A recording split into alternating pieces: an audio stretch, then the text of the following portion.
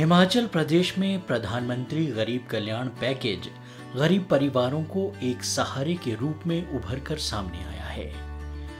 Package के माध्यम से विभिन्न योजनाओं के तहत लोगों को आर्थिक मदद दी जा रही है। पैकेज के घटक के रूप में प्रधानमंत्री किसान सम्मान निधि योजना के अंतर्गत प्रदेश के लाखों किसानों को दो दो हज़ार रुपए की अग्रिम किस्त दी गई है। ऊना जिला के किसानों ने इसके लिए केंद्र सरकार का आभार जताया है।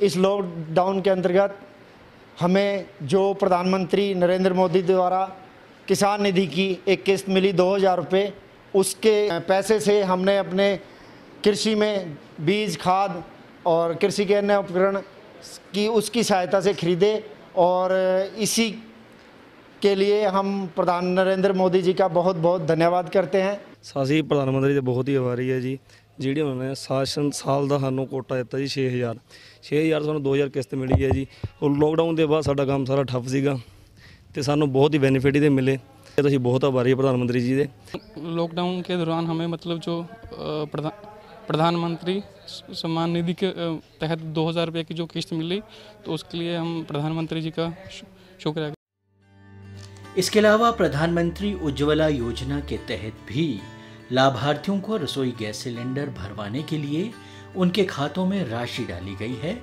जिससे वे खुश हैं। ये प्रधानमंत्री जी ने जो हमें उज्जवल की स्कीम जो, के तहत जो हमारे खाते में गैस के लिए पैसे डलवाए थे, इससे हमें ये लॉकडाउन में बहुत ही सुविधा मिली है। उनका बहुत बहुत आभार। हमें प्रधानमंत्री योजना में लॉकडाउन के तहत ना ये गैस कनेक्शन दिया था।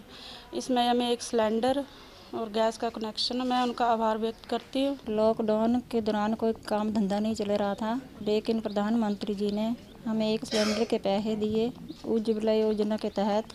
हम नरेंद्र मोदी जी के धन्यवादी हैं। निश्चित रूप से प्रधानमंत्री गरीब कल्याण पैकेज जरूरतमंदों के लिए किसी वरदान से कम नहीं है। डीडी न्यूज़ के लिए ऊना से राजीव शर्मा की रिपोर्ट।